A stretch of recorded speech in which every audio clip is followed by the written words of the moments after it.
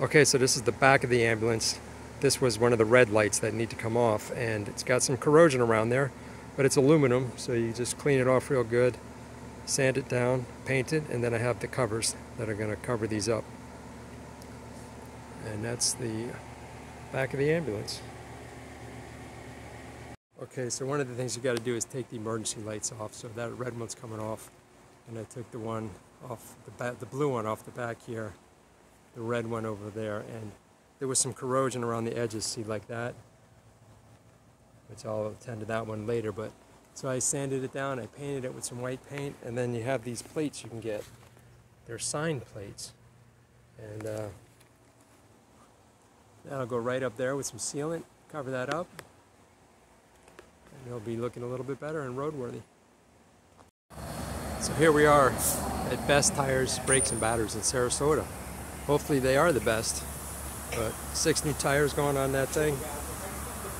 It's not on a lift. They're doing it like that so I can uh, do a little more work. Okay, time to cover up the emergency light holes. That one's painted.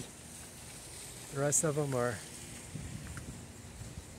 uncovered. Well, that one just got to pull the plate off, but I've got to caulk all of them, see?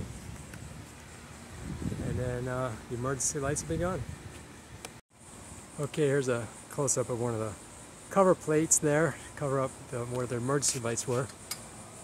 And uh, this is kind of a close-up of where I painted it. The white is a little whiter than the original white, but it's still covered up that corrosion that I sanded down real well. So got that faceplate the one over there, and then all the cover plates will be on. Okay, so this is what it looks like with the cover plates on. Less like an ambulance. The side scene lights are still there, but the red and blue lights are gone. Let's check out the other side. Okay, there you go. They're covered up. The rear beacon is off. And uh, yeah, looks uh, Still like an ambulance, but less without those red and blue lights.